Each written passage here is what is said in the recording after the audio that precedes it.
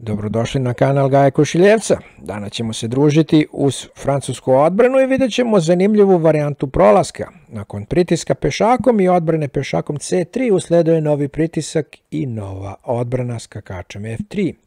Crni nastave igru lovcem, a beli igra pešakom A3. Sledi F6, sledi B4, sledi pešak uzima. Nakon pešak uzima, pritisak damom i odbrana lovcem F4. Crni nastavlja sa razvojem skakača E7. Beli lovca D3 da bi usledilo H6, H4 i nakon G6 mala rokada beloga, a velika rokada crnoga.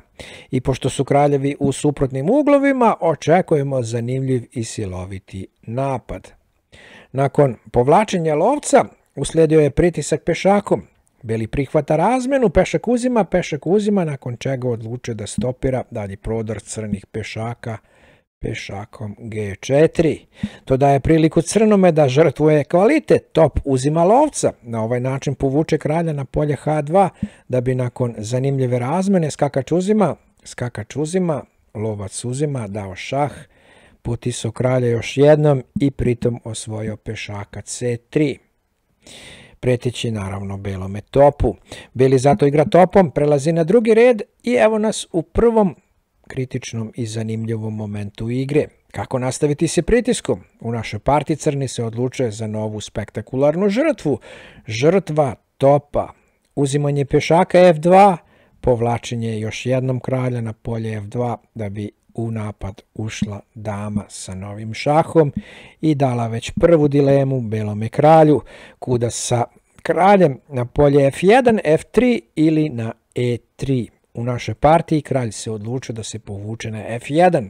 Ostale varijante vidjet ćemo na kraju partije. Nakon kralja F1 šta se dogodilo? Usledio je napad damom, novi šah, novo pomerenje da bi nakon napada lovcem i pokušaja odbrane topom usledilo lovac uzima topa i Beli je shvatio da gubi i predao ovu partiju. Očigledno bilo šta da igra, a možete, može igrati na dva načina. Jedan je pomerenje na E1, u tom slučaju šta bi se dogodilo? Dama bi dala šah i došlo bi do mata ili kraljem nakon kralja E2 damom F2 ili ako više volite kraljem F1 damom F2. To je što se tiče prve varijante. Ako se vratimo na onaj pobednički potes i pomerenje kralja u ovom slučaju na polje E2 bi donelo pobedu crnome, tako da bi prvo usledio naravno šah, bio bi žrtvovan recimo ovaj lovac da bi mat bio pešakom D4 ili jednostavno ako e, Beli ne želi da ukloni lovca, može samo da se vrati na E1, tada gubi takođe matom damom F2. I sada se vraćamo onom prvom zanimljivom momentu igre. Nakon onog napada damo videli smo da je u partiji igrano kraljem F1, da je igrano kraljem E3. Šta bi se dogodilo? Usledio bi znači napad lovcem, vraćanje na F3 i pobeda matom dama F2. Ako se vratimo na početak varijante, čak šta više ni pomerenje kralja na F3 ne bi donelo ništa bolje belome, osim nešto dužu igru. Usledio bi prvo šah, Sada bi kralj se vratio na f2, došao na udar lovcu i sada još jednom dilema. Ako igramo kraljem ili stavimo topa ispred? Ako igramo kraljem, šta se dešava? Dama g2 je mat.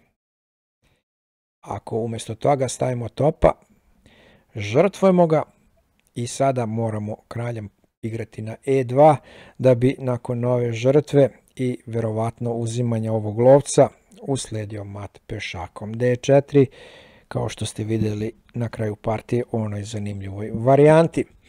Inače, originalna partija je nastavljena, videli ste, kraljem f1, došlo je do napada damom i do pomeranja na f2.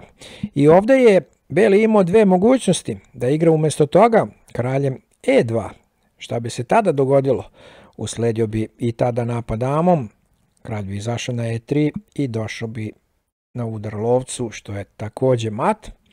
Ako se vratimo na potez dama h3, čak šta više, pomerenje na g1, ništa nije bolje, usledio bi prvo šah, sada bi moralo da se brani topom i nakon gubitka istog takođe mat.